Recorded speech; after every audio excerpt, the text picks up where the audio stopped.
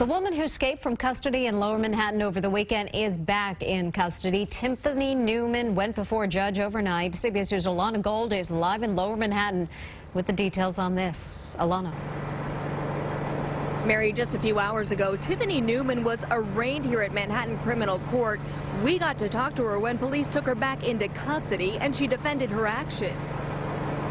I broke out of the handcuffs when I was out of the hospital after they almost killed me. That's what she had to say last night at the first precinct. Initially, she was arrested over the weekend on theft charges. On Sunday, police say she made up a story about being pregnant, so they took her to Presbyterian Hospital. But she slipped out of her handcuffs when a now suspended officer left her alone when he walked away to use the restroom. Police tell us Newman went right to a bar at the South Street Seaport and allegedly stole a phone and credit card from a woman who she met while drinking a beer. Then police say she went to a newsstand and used that credit card to make purchases.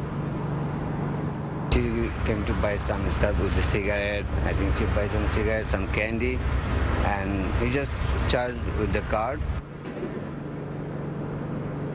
The victim did report that alleged theft to authorities. Police found Newman Thursday morning when she showed up at a relative's home on the Upper West Side. She is the fourth suspect to escape from NYPD custody this summer.